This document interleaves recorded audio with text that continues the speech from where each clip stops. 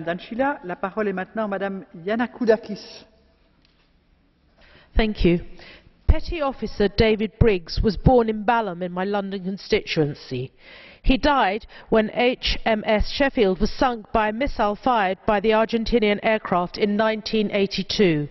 David was 26 years old when he died.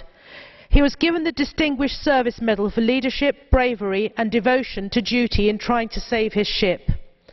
255 British servicemen were killed and 775 wounded retaking the Falklands, an overseas territory of the United Kingdom. It is shameful that at least one member of this House does not accept what even the EU has classified as a British overseas territory. It is shameful that the same member ignores the will of the Falkland Islanders who in March this year voted overwhelmingly in favour of retaining their ties to the UK. I now ask him to apologise not only to this House and to the islanders but also the, to the 255 families who have lost loved ones.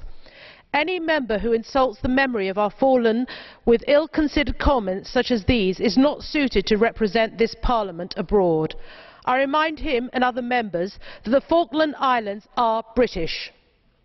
Merci Madame Yannakoudakis. La parole est maintenant Madame Sousa.